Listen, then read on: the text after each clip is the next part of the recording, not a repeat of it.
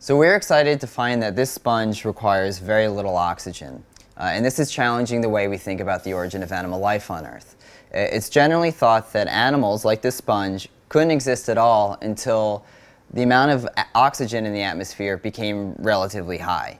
Uh, before this rise of oxygen, you, you can't have animals at all. Uh, and while this idea is very popular, it was never really clear how much oxygen exactly early animals needed.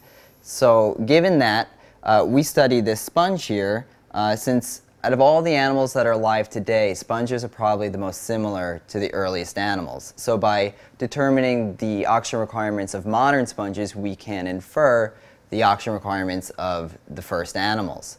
So we collected this sponge right outside the lab um, from a, a, an environment with a lot of oxygen and put it in this experimental setup where we can control the amount of oxygen it's exposed to.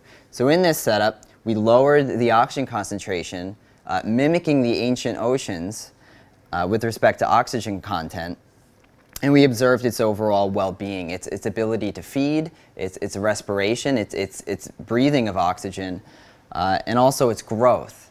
Uh, and we found that it can stay healthy at levels that are characteristic of the Earth prior to the origin of animals. So with respect to oxygen, there seems to have been enough oxygen in the environment to support animals before they originated. So this rise of oxygen wasn't necessarily a trigger for their origination. Uh, there could have been other environmental parameters or maybe some kind of biological innovations that were responsible for the timing of the origin of animals and not necessarily a rise of oxygen. Uh, so while we know that these sponges can tolerate these low oxygen concentrations, uh, we, are not sure if they can reproduce under them.